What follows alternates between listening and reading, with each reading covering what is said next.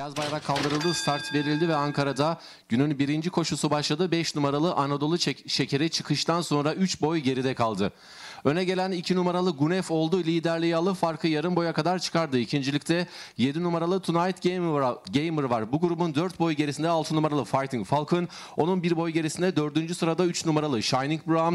Shining Brown'un yaklaşık 2 boy gerisinde 5. sırada 4 numaralı El Queen var. Onun 1 boy gerisine geldi şimdi 1 numaralı Gezdal. Grubun 4 boy gerisinde 5 numaralı Anadolu Şekeri. Sırasıyla Taylar son 600'e doğru ilerliyor.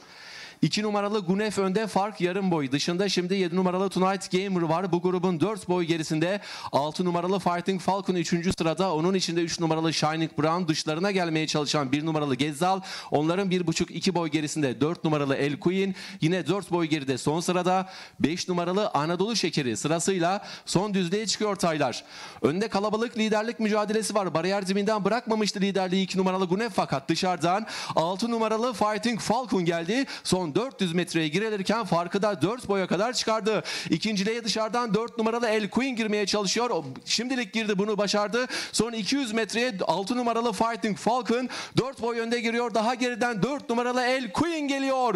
Son 100 metreye de 6 numaralı Fighting Falcon önde giriyor. Dışarıdan 4 numaralı El Queen geliyor. 6 numaralı Fighting Falcon önde ve koşuyu kazanıyor. 4 numaralı El Queen ikinci, 1 numaralı Gezdal üçüncü, 3 numaralı Shining Brown dördüncü, 5 numaralı Anadolu Şekeri koşuyu 5. olarak tamamladı. Ankara'da günün birinci koşusunu 6 numaralı Fighting Falcon Akın Sözen'le kazandı.